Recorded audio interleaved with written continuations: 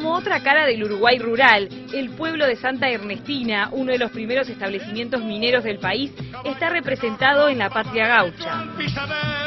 Este es un pueblo minero, se extraía oro, las primeras grandes compañías de mineras del Uruguay, como la Compañía Francesa de Minas de Oro del Uruguay, fue aquí en 1880-1890.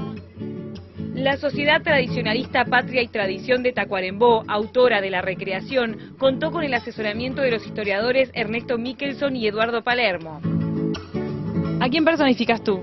Eh, yo a Víctor Leolivier, que era el ingeniero de la mina comenzaron a construir esta recreación del pueblo de Santa Ernestina en miniatura el 11 de febrero. Está hecho en base a ladrillos y mezcla de cal y arena.